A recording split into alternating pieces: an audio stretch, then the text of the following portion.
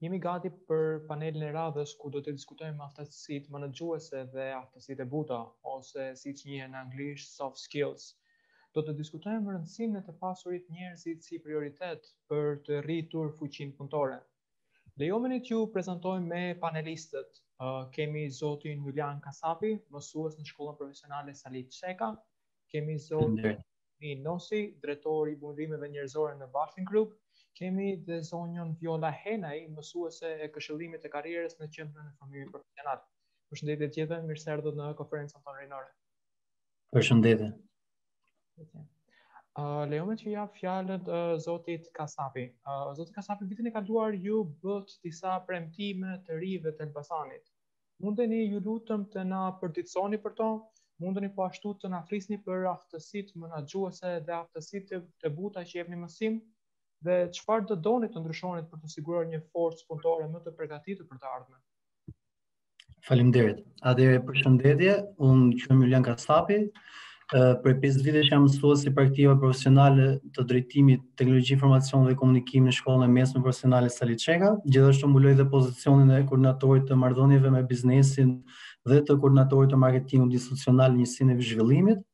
Në radhë parë më lejoni të shpreh se sa i lumtur jam që marr pjesë sot në një konferencë të tillë dhe përfaqësoj shkollën e mesme profesionale Sali Ceka. Atëherë vitin që shkoi kam marrë përsipër dy angazhime që ishin orientimi për karrierën, duke filluar nga klasat e 7, 8 dhe 9, si dhe konsolidimin e marrëdhënieve me biznesin. Më lejoni t'ju them se ka qenë një vit tejet i vështirë besoj për gjithë, por me shumë punë dhe me bashkëpunime me aktorë të ndryshëm ne ia dolëm. Për angazhimin e parë, shkolla për të rritur numrin e nxënësve të regjistruar duke promovuar punën tonë, më parë ka zhvilluar marketing tradicional. Ky marketing konsistonte në krijimin e grupeve të vogla me mësues e nxënës dhe, dhe ne shkonim konkretisht në shkollat nëntëvjeçare dhe në klasat e nënta në periudhën e muajit maj për të promovuar shkollën me anë të broshurave fletëpalosjeve apo posterave. Gjithashtu një ditë të caktuar të muajit maj ne organizonim atë që quhet Dita e Dyerve të Hapura, ku ftonim nxënës dhe prindër në ambientet e shkollës për ta parë nga afër dhe për të marrë çdo informacion tjetër të nevojshëm. Këtë vit fatkeqësisht prej pandemisë shkollat ishin të mbyllura dhe ne këtë formë marketingu nuk e realizuam dot. Por falë punës bashkë me stafin drejtues, me kolegë, me mbështetjen e projektit zviceran Aftësi për Punë, ne kemi realizuar me sukses marketingun dixhital. Kemi arritur të krijojmë me sukses disa fushata në rrjetet sociale Facebook dhe Instagram, ku kemi targetuar grupmoshat me interes për ne, për shembull grupmosha 13 dhe 16 vjeç që përfshihen nxënësit e klasave 7, 8 dhe 9 si në angazhimin që kisha marrë përsipër. Gjithashtu ne kemi bërë me, me, me ndihmën e stafit të Skills for Jobs, kemi realizuar broshurë fletëpalosje të reja, kemi bërë përshkrimin e profesioneve, kemi realizuar spotin e shkollës që është një video një minutë, të cilën e kemi shfaqur në dy televizione të ndryshme lokale siç janë televizioni Best Channel dhe Skampa, gjithashtu dhe në televizion ndërkombëtar siç është News 24. Ë gjithashtu për të lehtësuar punën natyrën e nxënësve që regjistroheshin për të parë këtë vit, krijova edhe një formë regjistrimi paraprak me Google Forms, të cilën e shpërndamë pra kur bëmë sponsorizimin me anë të reklamave digjitale. Si koordinator i marketingut institucional, unë jam munduar që ta konsolidoj imazhin online të shkollës në mediat sociale dhe sot përveç rrjeteve sociale Facebook dhe Instagram, shkolla është prezente me llogari dhe në YouTube, LinkedIn, Twitter dhe mendojmë se shpejti dhe në TikTok që është një nga rrjetet sociale më të përdorura nga të rinjtë sot. Kjo formë marketingu mund të them se rezultoi e suksesshme sepse këtë e dëshmon dhe numri i regjistrimeve që ishte lehtësisht më i lartë se vitin që shkoi. Ndërsa për angazhimin e dytë mund të them që ka qenë po themi më dhe pjesa më e vështirë, kemi pasur vështirësi më të mëdha duke qenë se pjesa më e madhe e bizneseve u prek nga pandemia, mund të përmend këtu bizneset në fushën e hoteleri turizmit, drejtim ky i cili përbën një të tretën e numrit total të nxënësve të shkollës. Megjithatë në kuadrin e praktikave profesionale në biznes, kemi qenë të suksesshëm. E shprehur në shifra, në vitin shkollor 2019-2020, shkolla numëronte rreth 65 marrëveshje me biznese lokale, ndërsa dhe 265 nxënës praktikantë. Ndërsa në vitin aktual kemi rreth 96 biznese partnere dhe 300 nxënës praktikantë dhe ne jemi duke punuar vazhdimisht për t'i rritur këto shifra, por dhe për të afruar, po themi, bizneset më cilësore të rajonit tonë. Një ndër këto bizneset partnere me të cilat kemi dhe bashkëpunim është edhe Elite Travel Group dhe Elite Academy. Aktualisht në Elite zhvillojnë praktika nxënësit e drejtimit hoteleri turizëm dhe TIK, dhe në total janë rreth 53 nxënës. Nxënësit praktikohen kryesisht në pozicionet e guidës turistike, agjent turistik, tour operator, grafik designer, programues full stack, digital marketing, bazat e IT-së, helpdesk e tjera. mund vlen për t'u përmendur dhe fakti sepse gjatë zhvillimit të praktikave apo dhe pas përfundimit të tyre ne kemi pasur histori suksesi të punësimit të nxënësve pranë kompanisë dhe deri tani janë katër nxënës të tillë. Bashkëpunimi bashkëpunimi me elit nuk ka qenë vetëm në kuadër të praktikave profesionale në biznes, por dhe në fusha të tjera siç janë marketingu institucional, përfshirja e mentorëve të tyre në vlerësimin e nxënësve dhe së shpejti mendojmë dhe në trajnimin e mësuesve. Dhe gjej rastin të falenderoj stafin e mrekullueshëm të Elit për bashkëpunimin e shkëlqyer. Ë gjithashtu do doja që këtë vit të jepja dy angazhime të tjera. Edhe shpresoj që të jem sërish vitin tjetër duke folur këtu se si i kemi mbajtur këto angazhime. Mendoj një nga angazhimet që ne do të vëmë fokus kryesor është rritja e numrit të vajzave që ndjekin drejtimin dhe një angazhim tjetër, angazhimi i dytë është përmirësimi i kurrikulave duke bashkëpunuar me biznese, siç edhe shpreha më lart me Elite Travel, për t'u përshtatur nevojave të tyre, por dhe tregut të punës që nxënësit nesër të punësohen të, të kenë një punësim sa më të sigurt. Ndërsa për aftësitë e buta, ne dhe aktualisht u mësojmë nxënësve aftësi të tilla siç janë komunikimi nëpërmjet metodave të mësimdhënies që do t'i shpreh tani. Pra komunikimin me brainstorming, etikën me etikën profesionale, punën në grup, menaxhimin e kohës, vendimarrjen duke bërë lojën me role ose duke vendosur në pozicionin e tim liderit, zgjidhjen e problemeve me metodat e të menduarit kritik, fuqizimin, empatinë, e cila është aftësia për të kuptuar dhe ndarë ndjenja pozitive me të tjerët ose ndjeshmëria në këtë rast. Vendosja e objektivave ose qëllimeve, për shembull ne si mësimdhënës kur nisim një modul të ri, neve që në fillim përcaktojmë objektiva dhe themi që në fund të modulit nxënësi duhet të arrijë këto kompetenca.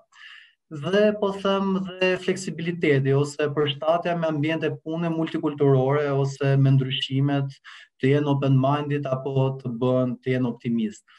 Ë uh, Atëherë, pyetja e madhe që shtrohet këtë kohë është se çfarë duhet të bëjmë ne për të ndërtuar një shoqëri apo biznese të cilat do përballojnë sfidat globale në të ardhmen, duke parë sfidat që solli dhe pandemija e COVID-19, Nevojat për ndryshime janë thelbësore dhe përshtatja apo optimizimi i shërbimeve nga ana e bizneseve mendoj se duke patur forcë punëtore të siguruar, të të motivuar dhe të aftësuar, ne jemi më të përgatitur për atë çka vjen më pas.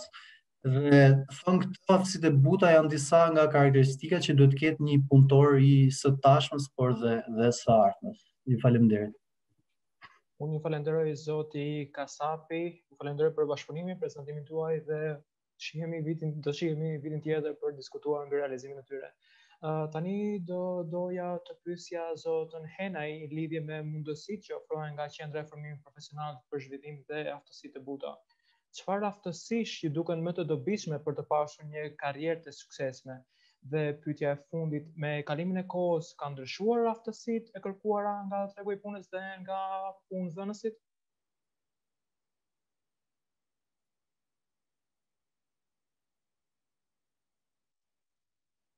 Mund të hapni mikrofonin ju lutem? Po. Ju falenderoj për ftesën dhe eksperiencën e bukur të konferencës, siç po mbyllnit, për mua është hera e parë. Unë jam Viola Hënaj dhe punoj pranë qendrës formimit, ofrimit profesional publik Elbasan, si trajnere e Start Smartit. Programi i këtij kursi u mundësua me mbështetjen teknike dhe financiare nga bashkëpunimi gjerman i zbatuar nga GIZ-ja dhe GFA-ja pjesë e programit ProSEED. Programi i kursit Start Smart zhvillohet në dy drejtime, aftësi për të kërkuar punë dhe aftësi sociale. Tek aftësitë për të kërkuar punë, kemi njohjen e vetvetes dhe kërkimin e mundësive për punë, shkrimin e një CV-je dhe letrës së motivimit, përgatitja për intervistën e punës. Në aftësitë sociale për, për vendin e punës, zhvillojmë aftësitë e komunikimit, zhvillojmë aftësitë e punës në grup dhe të bashkëpunimit, zhvillojmë aftësitë për shmangien dhe transformimin e konfliktit, zhvillojmë etikën në punë. Qëllimi i këtij kursi është se në ditët e sotme aftësitë për kërkimin në tregun kombëtar dhe ndërkombëtar të punës po marrin një rëndësi gjithnjë e më të madhe. Çdo individ është i detyruar në të ketë një sërë aftësish të caktuara, të cilat mundësojnë pozicionimin e tij në tregun e punës. Kështu, njohja më e mirë e vetvetes, kërkimi për punë të reja, zhvillimi i procesit të aplikimit dhe intervistimit, finalizimi i një kontrate pune dhe aftësia për të ruajtur pozicionin e punës nëpërmjet një sjellje profesionale përbëjnë aftësi të detyrueshme, të cilat duhet të zotërohen apo zhvillohen nga çdo individ. Ky kurs ofron një sërë informacionesh dhe mjetesh prej të cilave pjesëmarrësit në kursin e formimit mund të zhvillojnë grupin e aftësive të nevojshme në ditët e sotme, për gjetjen e një vendi pune në tregun kombëtar ose ndërkombëtar të punës. Për më tepër, pozicionet e ndryshme të punës që kërkohen në ekonomi kërkojnë rritje të ndërgjegjësimit mbi nevojën për aftësi të ndryshme sociale. Për rrjedhojë, ka një shumëllojshmëri të lartë të aftësive sociale që kërkohen në vendin e punës dhe zotërimi i njërës ose disave prej këtyre aftësive është një kusht paraprak për zotërimin e të tjerave si edhe për të qenë të suksesshëm në kërkimin për punë dhe për mbajtjen e vendit të punës. Të gjitha këto bëhen në kuadër të nxitjes për punësim dhe orientimin profesional të çdo kursanti që vjen pranë qendrës tonë. Viti që po lëm pas ka qenë shumë i vështirë për gjithë ne, por me mbështetjen e kolegëve, drejtuesit dhe projektin, ja kemi dalë të jemi të suksesshëm në orientimin profesional për këdo që vjen pranë qendrës tonë. Unë, duke qenë hera e parë që marr pjesë, ju falenderojmë shumë elit si gjithmonë të gatshëm për bashkëpunime. Ju falenderoj që jam pjesë dhe kësaj eksperience sot. Ne ju falenderojmë për pjesëmarrjen dhe jam i sigurt se do të na bashkoheni edhe vitin tjetër. Ë uh, pyetja e radhës. Me kënaqësi. Faleminderit. Pyetja e radhës është për zotin Osi. Ë uh, si drejtori i burimeve njerëzore i një prej kompanive më të mëdha në Shqipëri, mund të na shpjegoni ju lutem për publikun se sa të rëndësishme janë aftësitë menaxhuese dhe aftësitë e buta soft skills për punëmarrësit dhe si ndihmon Balfin Group në promovimin e këtyre aftësive për të pasur sukses në vendin e punës. Përshëndetje dhe ju falenderoj për këtë ftesë. Falenderoj Elite Travel Group dhe Spoonbill Nest për këtë iniciativë të mrekullueshme për për të rinjtë e qytetit. Ëm para se të filloja padyshim doja të të bëja një parantezë të shkurtër në lidhje me Balfin Group për t'i dhënë pak a shumë të gjithë dëgjuesve një një kuptim se çfarë ndër të tjera të rinjt mund të bëjnë dhe mund të kontribuojnë për zhvillimin e biznesit në vend. Ë natyrisht Balfin Group është një ndër grupet më të suksesshme ë jo vetëm në Shqipëri, por edhe në rajon. Ë shkurtimisht do doja të prekja pak ë fushat e aktivitetit të grupit për të dalë pastaj më konkretisht edhe tek pjesa e, e kapaciteteve, aftësive menaxheriale dhe zhvillimit të tyre dhe çfarë bëjmë ne si Balfin Group për zhvillimin e këtyre kapaciteteve brenda kompanisë tonë. Ë aktualisht grupi është prezent dhe në gjashtë vende të tjera të rajonit dhe të Evropës Qendrore. Ë me një portofol mjaft të diversifikuar investimesh. Aktualisht po themi xhira e përgjithshme totale e grupit shkon 700 milionë euro në vit dhe me një total investimesh në asete prej 1.2 miliard euro. Pra flasim për një grup tashmë që ka arritur disa standarde të caktuara në mënyrën se si arrin të bëjë biznes. për t'u ndalur shumë shkurt në sektorët në të cilët operon, padyshim shumë prej këtyre sektorëve publiku njihet, do përmendja shkurtimisht sektorin e retailit, që përfaqësohet nga kompani që njihen në treg, si Neptun, Jumbo, Spar, Fashion Group, madje disa prej këtyre që sapo përmenda janë të janë prezente edhe në rajon. Pra flasim për një rrjet Neptun International që është prezent me dyqane ashtu sikur në Shqipëri dhe në Kosovë, Maqedoni dhe dhe Mal të Zi, po ashtu dhe Jumbo ka një prezencë që shkon në këto shtete që sa përmenda dhe në Bosnjë e Hercegovinë, dhe në ekspansion e sipër është Spari për të pasur prezencë gjithashtu ndërkombëtare në rajonin tonë. Një tjetër sektor i rëndësishëm ku grupi Balfin është prezent është gjithashtu sektori i minierave dhe i metalurgjisë, ku dy le të themi aktivitete kryesore është janë Albkromi në Shqipëri, i cili në fakt është dhe ndër prodhuesit më cilësorë të kromit në në në botë, do thoja është në top 5 Ndërkohë kemi dhe NewCo Ferronikeli, fabrika e përpunimit dhe pasurimit të nikelit në Kosovë. Një tjetër sektor i rëndësishëm ku grupi operon gjatë dy viteve të fundit është dhe Tirana Bank, e cila prej së vërtetës ka qenë është banka e parë private në vend dhe njihet për shërbimin dhe për le të themi eficiencën operacionale që ofron për klientët e saj. Një tjetër sektor i rëndësishëm ku grupi është i fokusuar është dhe pjesa e zhvillimit të komplekseve të ndërtimit për qëllime komerciale apo rezidenciale dhe të njohura janë padyshim TEG-u dhe QTU, qendra tregtare,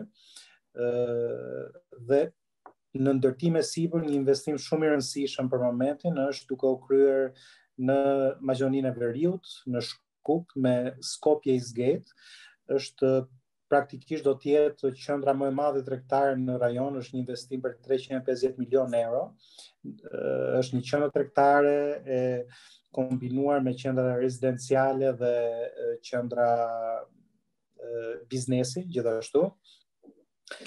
Një tjetër sektor i rëndësishëm është dhe pjesa e turizmit, hoteleri turizmit, ku grupi tashmë ka zhvilluar dy projekte në zonat bregdetare, ai Green Coastit në jug të vendit në Palasë dhe Valamar në në Durrës, në Hamallaj, që të dy këto komplekse vlerësohen për aspektin novator dhe të renë që sjellin në treg nëpërmjet programeve bashkëkohore siç janë time sharing apo ngjashëm që ofrojnë le të themi eksperienca të reja për për për vendasit. Balfin Group në vetvete është shumë i lidhur me teknologjinë dhe këtu kur flasim për teknologjinë, padyshim flasim për e, produkte teknologjike, siç është rasti le të thoja i Neptunit dhe i, produ, i gamës së gjerë të produkteve që dikush mund të gjejë në, në dyqanet e Neptunit, por gjithashtu dhe për e, programet, le të themi, inovatore që kanë të bëjnë me rritjen e e besnikërisë së klientëve dhe për herë të parë në vendin tonë është prezantuar programi i besnikërisë Happy, i cili ka në në skemën e saj pesë kompani që marrin pjesë në të duke krijuar kështu një mundësi shumë të gjerë klientëve që janë anëtarë të kësaj skeme për të përfituar kushte dhe terma preferenciale në kompanitë në fjalë. Një tjetër element shumë i rëndësishëm i, i grupit tonë është qasja ndaj inovacionit. Ç'dua të them me këtë që inovacioni në fakt për Balfin Group është është një ndër vlerat e tij sepse vetëm duke inovuar ndër vite ky grup ka arritur në këtë stad ku ndodhet sot. Dhe në fakt ne përpiqemi që ta mbajmë gjallë frymën e inovacionit brenda kompanisë. Për këtë qëllim organizojmë evente të dedikuara që synojnë promovimin dhe nxitjen e ideve novatore për të çuar biznesin para apo për të krijuar oportunitete të reja për të identifikuar dhe për të shfrytzuar oportunitete të reja që mund të ekzistojnë në treg. Ë vlen për të përmendur që çdo vit ne kryejmë një innovation summit, pra një një forum le të themi ku mblidhen projekte të zhvilluara nga nga kompanitë e grupit, ide të reja se si mund të përmirësojnë procese pune, se si mund të uh, prezantojnë brenda aktivitetit të tyre ide të reja biznesi dhe si si mund të implementojnë ato.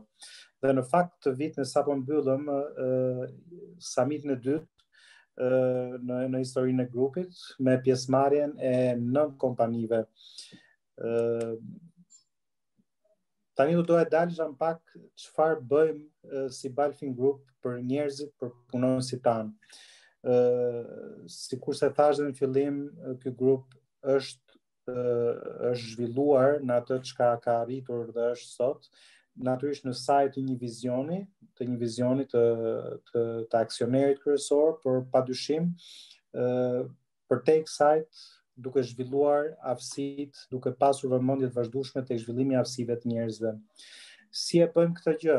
Natyrisht e bëjmë duke ngritur dhe duke ndërtuar programe konkrete zhvillimore brenda grupit për të akomoduar gjithë ato nevoja që kanë bëjnë me zhvillimin e biznesit, me çuarjen përpara të biznesit, pra zhvillojmë tek njerëzit ato aftësi që janë të nevojshme për të për të përmirësuar më tej biznesin. Më konkretisht, kemi disa programe që i dedikohen zhvillimit të punonjësve.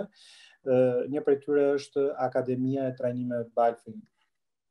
Ky është një program që është aktiv tashmë prej 4 apo 5 vitesh, mund të thoja, është një program që synon zhvillimin e stafit në të gjitha nivelet. Pra flasim si për staf menaxherial dhe për staf jo menaxherial.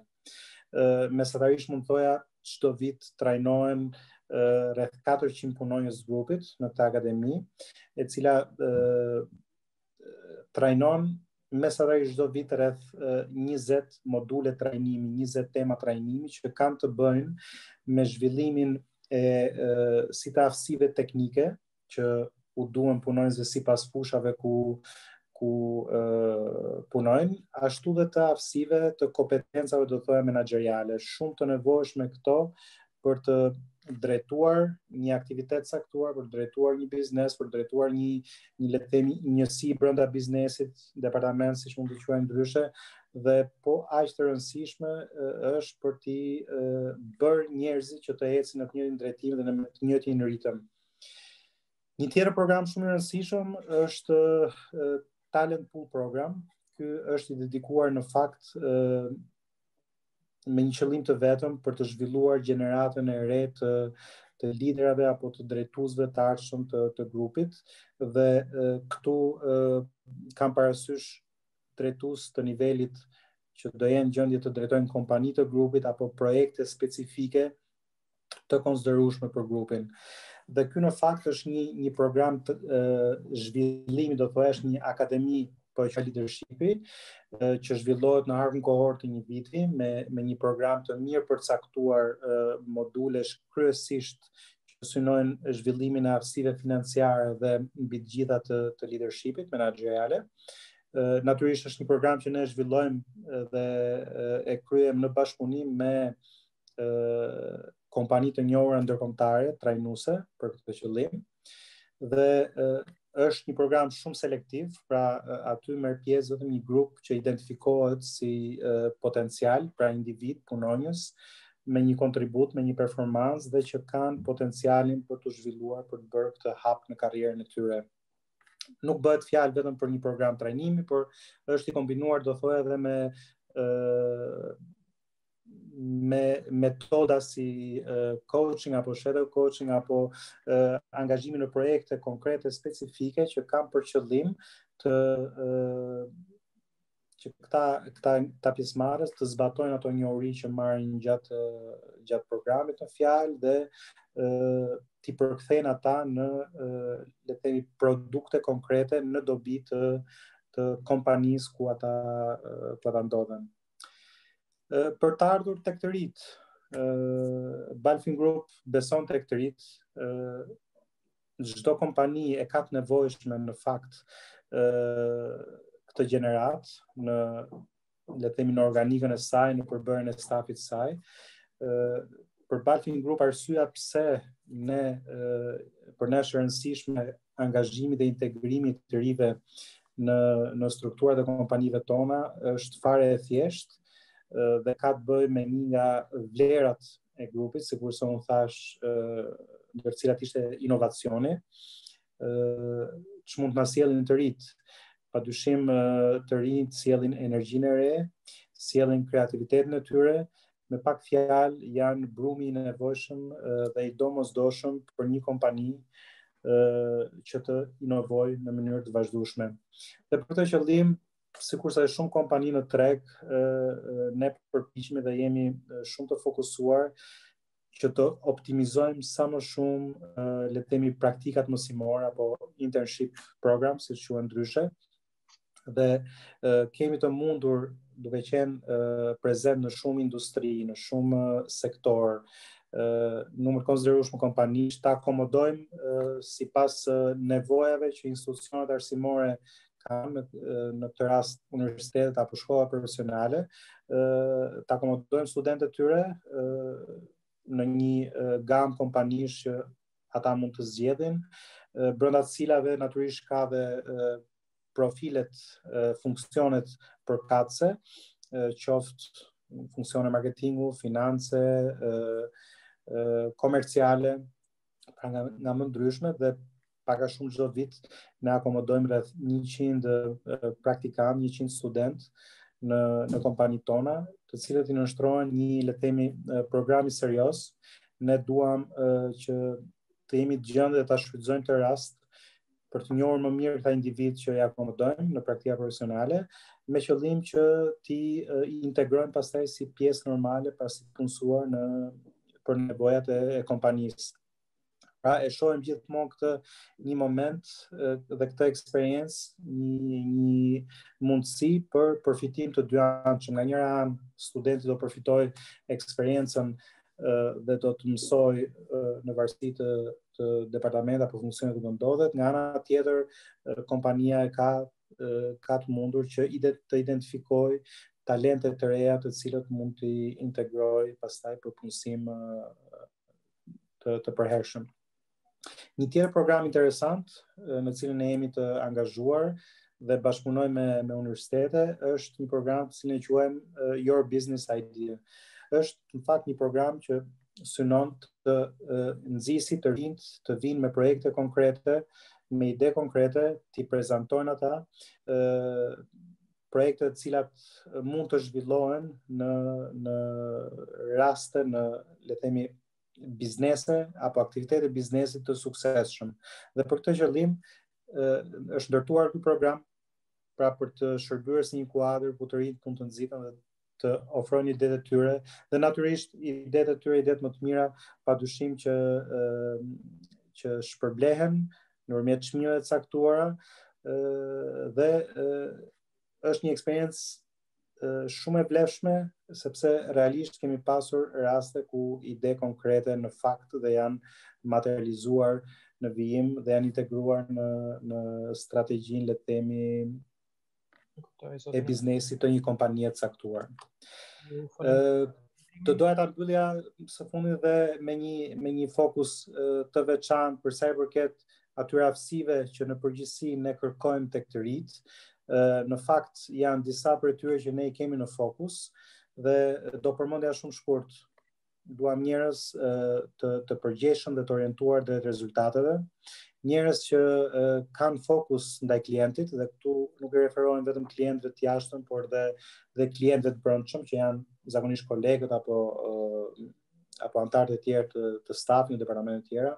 Bashkëpunimi është shumë i rëndësishëm, etika në biznes është shumë e rëndësishme, çdo gjë që bëjmë duhet ta bëjmë në mënyrë etike, sepse ky është elementi që do krijojë dhe besueshmëri te gjithë të gjithë të gjithë le të themi palët e interesuara, aftësitë për të qenë i organizuar dhe aftësia e menaxhimit kohës dhe ajo është një një një aftësi shumë e nevojshme komunikimi nëna e gjitha aftësive pa dyshim dhe kjo nuk mbetet pas dhe aftësia për zgjidhur problemet si i kemi në fokus të dhe si, si i promovojmë duke i vlerësuar vazhdimisht tek stafi në ato performancat vjetore dhe natyrisht duke investuar në trajnime për t'i zhvilluar akoma më tepër tek, tek secili prej tyre. Ju falenderoj shumë për këtë mundësi. Falenderoj zotin Nosi, kemi një pyetje nga ju nga publiku. Uh, po. Sot, a është zoti Nosi dhe Balfin grupi i interesuar t'i bashkohet nismës së Komitetit të Këshillimit për Rininë dhe Edukimin Profesional? A e merr si angazhim? Pa dyshim, pa dyshim duket diçka me interes dhe do doja të të mësoja më shumë rreth asaj gjëje.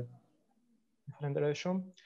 Do doja të falenderoja Zotin Nosi dhe Balfin Group për mbështetjen e sotme, po ashtu dua të falenderoj zonjën Henaj për mbështetjen dhe punën e saj të pareshtur duke ndihmuar njerëzit të përparojnë karrierën e tyre. Në fund do doja të falenderoja Zotin Kasapi për mundin e dhënë për të siguruar se nxënësit e shkollës profesionale Sali Ceka janë të mirë përgatitur për të ardhmen.